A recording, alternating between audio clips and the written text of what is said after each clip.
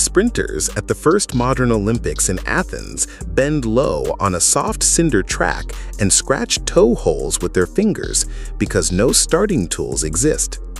The small holes collapse when they push off, so athletes must stay balanced instead of driving hard, and average reaction times drift past 0.3 seconds. The loose surface offers almost no sideways grip, meaning runners lose precious hundreds just getting steady before the first full stride.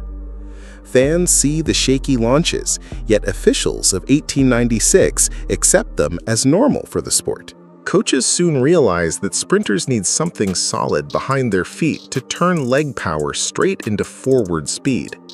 This simple insight starts a search for quick, cheap supports that will lead three decades later to the first cane stakes. By 1927, athletes slide bamboo or hardwood stakes behind their shoes, creating a firm lever that cuts average reaction times by about 0.10 seconds. Meet officials neither approve nor ban the stakes, so coaches quietly keep using them, arguing that track conditions already change lane to lane. The pointed stakes meet visible holes, and at Amsterdam 1928, organizers debate whether they harm the lanes, but rule enforcement stays uneven.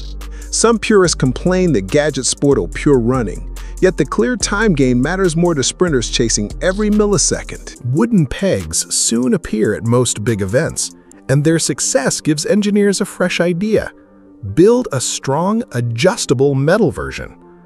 An Australian coach takes that step in 1937 and patents the first true starting blocks. Australian coach Charlie Booth files the first patent for adjustable metal starting blocks that clamp two foot plates onto a solid rail, stopping them from sliding when sprinters push off.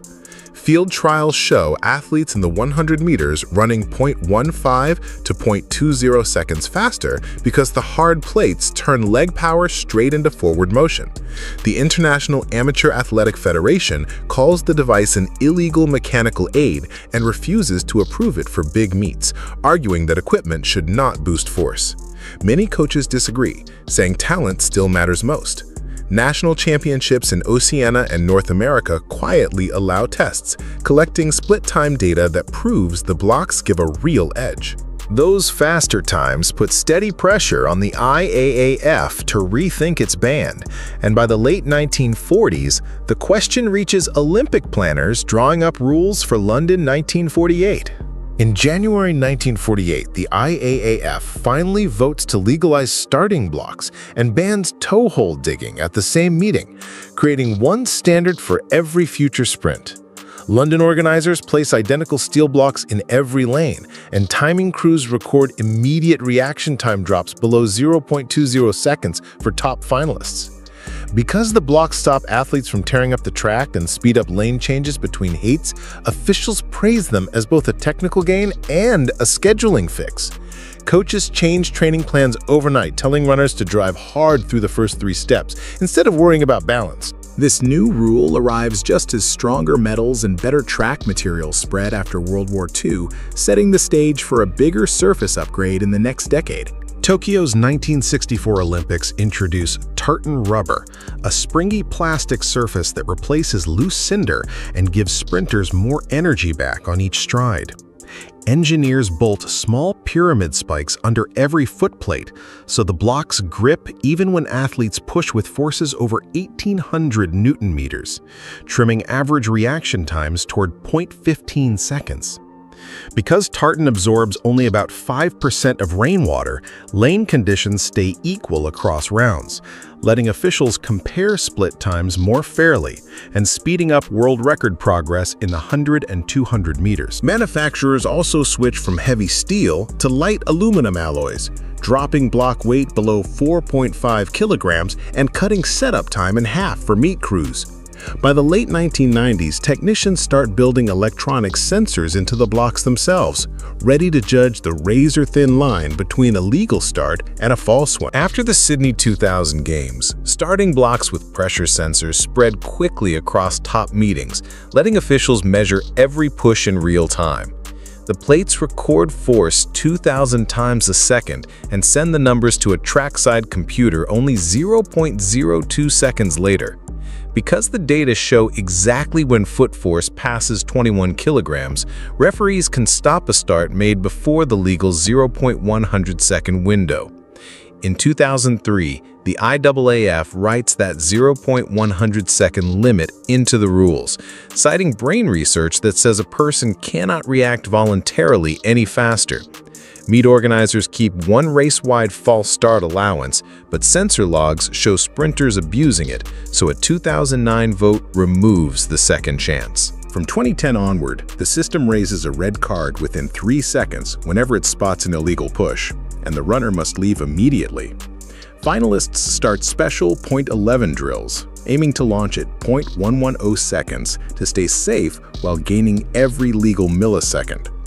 Coaches mark thousands of starts in spreadsheets because even slight gains in reaction time decide medals at top-level meets. The zero-tolerance rule increases stress in warm-up rooms and sets the scene for a dramatic clash with the sport's biggest star in 2011. Usain Bolt, holder of the 9.58-second world record, stands at the line for the Daegu World Championship Final in August 2011. Sensors show an official reaction of 0.104 seconds, yet cameras catch a slight flinch about 0.03 seconds before the gun fires. Under the new no restart rule, the computer flashes red at once and judges disqualify Bolt before the crowd understands what happened. TV broadcasters slow to replay to 1,000 frames a second, giving viewers clear proof that the sensor data match the video ticket refund requests jump 18% overnight because many fans expected a record, proving how strict tech rules now shape sport finances as well as results. During the Tokyo 2021 Olympics, Britain's Reece Prescod records a 0.099 second reaction in his 100-meter semifinal, just one thousandth below the legal 0.100 second limit, so judges disqualify him on the spot. Analysts note that background noise and the tiny delay between the starter's gun and each athlete's ear can shift perceived timing by up to 0.003 seconds, yet the rule gives no margin. Today's top blocks use carbon fiber footplates with wireless load cells that sample force 4,000 times a second, building an individual push-off profile for every sprinter. Built-in software flags tiny, involuntary tensing without punishing the legal preload that helps athletes launch, so they can safely train reactions down to about 0.101 seconds. Because every session's data saved to the cloud, coaches match start technique with 30-meter split times and spot weak points they could not see before. The footplates now adjust from 30 to 65 degrees letting tall runners such as the 1.98-meter Usain Bolt copy their race stance in practice without strain. Even with these smart tools, officials still cling to the fixed 0.100 second limit, a rule that next-generation AI systems promise to replace before the Los Angeles 2028 Games. Prototype AI blocks mix motion sensors and tiny cameras to track whole-body movement and decide within 5 milliseconds whether a push is a planned jump or a reflex to keep balance. Developers suggest a sliding scale. If a runner reacts in 0.085 seconds but the system rates the chance of intentional cheating below 5%, the race can continue. Because the model studies tens of thousands of historical starts, it updates baseline values for age, gender, and even footedness, aiming to treat every sprinter fairly. Olympic planners target full use in 2028, expecting the rulebook to move from one hard number to a confidence-based decision. If approved, AI blocks will complete a 130-year journey, from the finger-dug holes of 1896 to real-time biomechanical judges that may set the next standard for what fair start truly means. If you like these types of explainer videos and love track and field, subscribe to the channel.